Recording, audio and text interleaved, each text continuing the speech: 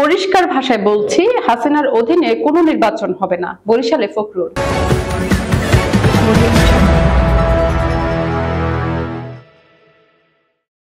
বর্তমান সরকারের অধীনে কোনো নির্বাচন হবে না। বলে হুঁশিয়ারি দিয়েছেন বিএনপির মহাসচিব মির্জা ফখরুল ইসলাম আলমগীর। তিনি বলেছেন, বিএনপির পরিষ্কার কথা, শেখ হাসিনার অধীনে কোনো নির্বাচন হবে না, এই সরকারের অধীনে কোনো নির্বাচন হবে না। নিরপেক্ষ নির্দলীয় সরকারের হাতে ক্ষমতা হস্তান্তর করতে হবে। সেই সরকারের নতুন নির্বাচন কমিশন গঠন করবে, সেই কমিশনের অধীনে নির্বাচন হবে। আজ বিকেলে বরিশালের বঙ্গবন্ধু উদ্যানে বিভাগীয় গণসমাবেশে তিনি এসব কথা বলেন। তিনি বলেন, আওয়ামী লীগের সময়ে চুরি আর ঘুষ ছাড়া আর কিছুই নেই। দশ টাকা কেজি চাল খাওয়াবে বলেছিল। কত টাকায় চাল খাওয়াচ্ছে?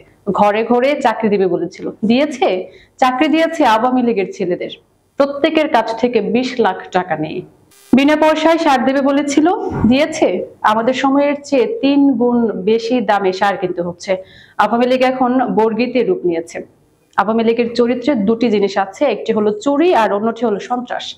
এই দুটি তারা করবেই। তিনি বলেন ভোট চুরি করে নতুন নতুন বুদ্ধি বের করে ক্ষমতায় যাওয়ার চিন্তা করছে। আমরা পরিষ্কার ভাষায় বলছি, হাসিনার অধীনে কোনো নির্বাচন হবে না। এই সরকারের অধীনে কোনো নির্বাচন হবে না। মির্জা ফখরুল দলের নেতাকর্মীদের ঐক্যবদ্ধ থাকার আহ্বান জানিয়ে বলেন টেক ব্যাক বাংলাদেশ রাজপথে ফাইসালা করে বাংলাদেশকে আমরা ফিরিয়ে আনব। কোনো দ্বিমত নয়, ঝগড়াঝাটি নয়, ঐক্যবদ্ধভাবে আমাদের ঝাঁপিয়ে পড়তে হবে। এই আন্দোলন সমগ্র জাতিকে রক্ষা করার জন্য এটি বিএনপির কোনো আন্দোলন নয়।